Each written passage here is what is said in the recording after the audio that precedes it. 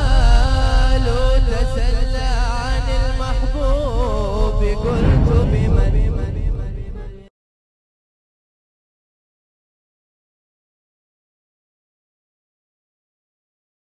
نسيم هبت علينا من حمى المصطفى نسيم فيها الهنا فيها الدواء والشفاء نسيم هبت بسم الله الرحمن الرحيم. الحمد لله رب العالمين. اللهم صل وسلم على سيدنا محمد.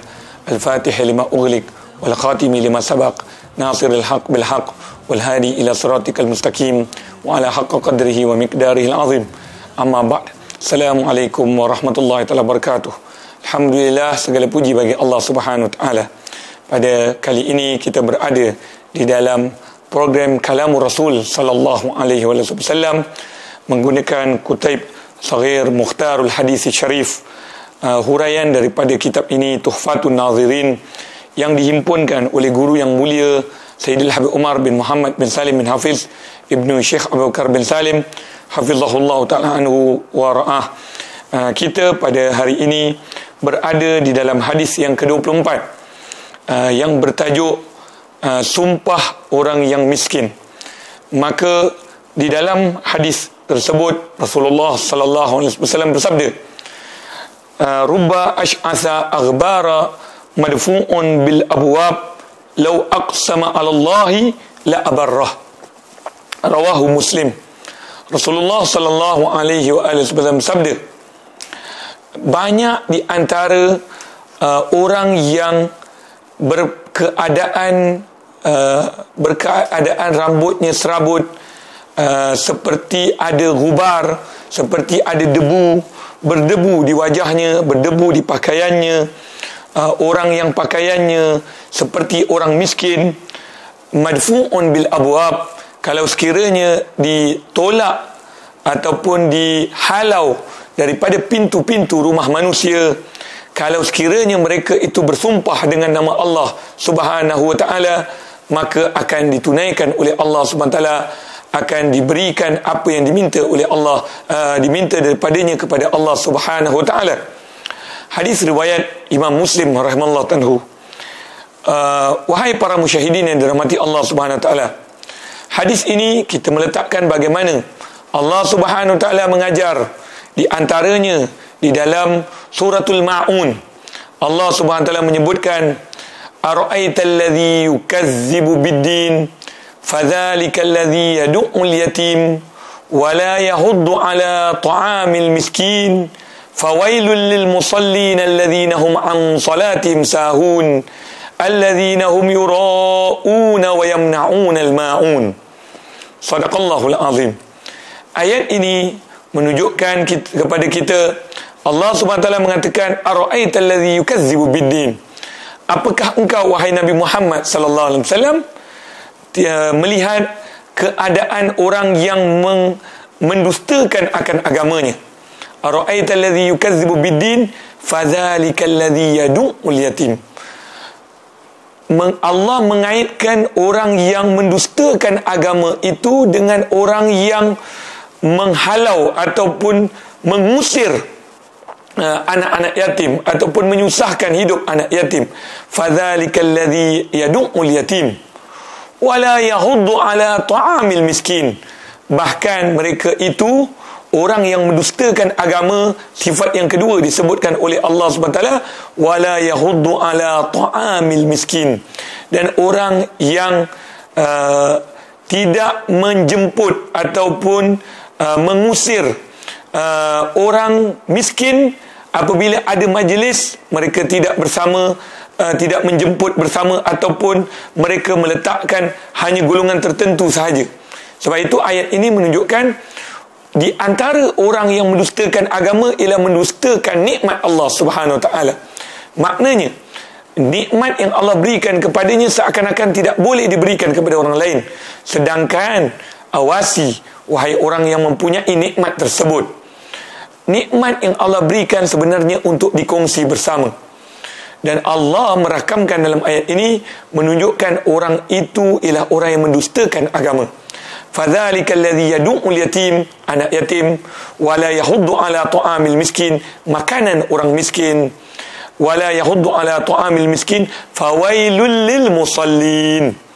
Bahkan celakalah bagi orang yang solat itu kata Allah SWT fawailul lil musallin alladhina hum an salatim sahun.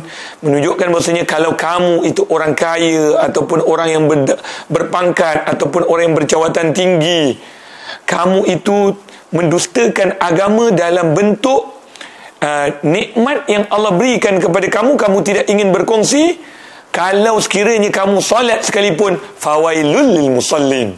Maka rugilah ataupun celakalah orang yang solat itu fawailul lil musallin alladhina hum an salatim sahun.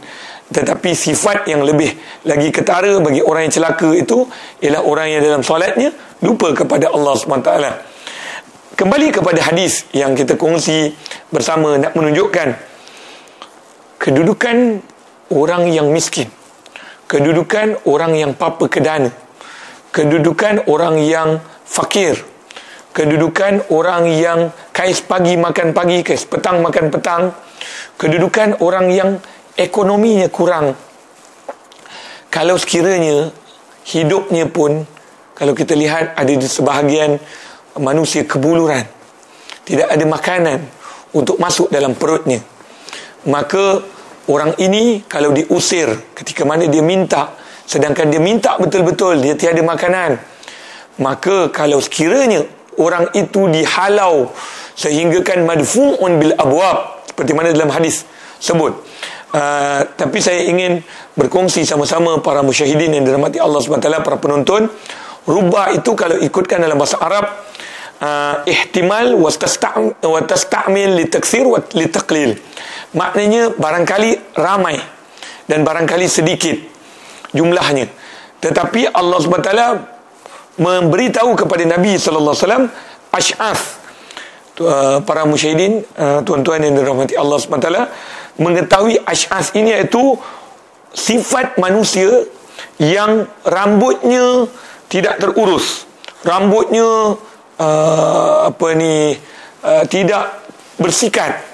Uh, rubah ash'af orang yang kita tengok pun dia macam kusut. Uh, kusut masai akhbar iaitu orang yang pada bajunya ataupun pada pakaiannya pada tubuhnya berdebu-debu. Ini gambaran kepada orang Arab tapi maksudnya orang miskin orang susah bajunya tak terurus. Madfu'un bil abwab maknanya apabila dihalau. Kerana madfu' madfu' maknanya tutup pintu. Bila ada orang minta orang miskin minta dengan muka yang unuf maknanya dengan muka yang garang ataupun muka yang kasar pergi kamu jangan kacau aku maknanya ini sifat orang yang disebutkan dalam hadis Nabi SAW madfu'un bil abwab. Lebih-lebih lagi orang yang nak datang ke rumah kita kita dah nampak betul-betul muka dia dah nampak dengan kita kita tutup pintu dengan kuat. Itu bukan sifat yang diajar oleh Islam.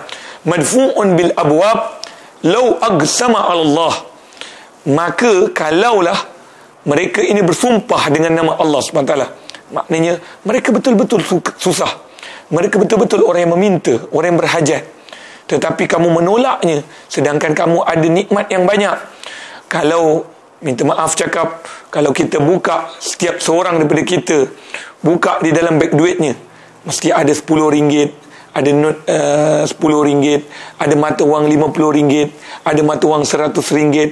Bahkan mungkin ada yang lebih daripada itu takkanlah tak boleh keluar walaupun seringgit hanya seringgit saja. Maknanya Nabi SAW mengatakan madfu'un bil abwab.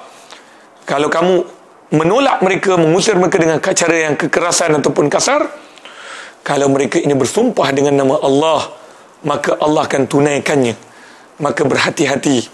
Jangan membuat busuk hati kepada orang yang susah.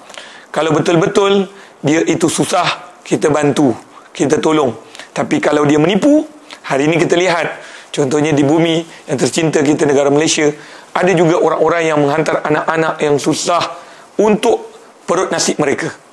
Oh, bukan untuk budak tadi. Maka ini pun akan ditanya oleh Allah taala kepada mereka. Akan tetapi kita yang melihat anak yang kecil ibu tunggal yang bawa makanan keropok krepek semua apa salahnya kita bantu dia?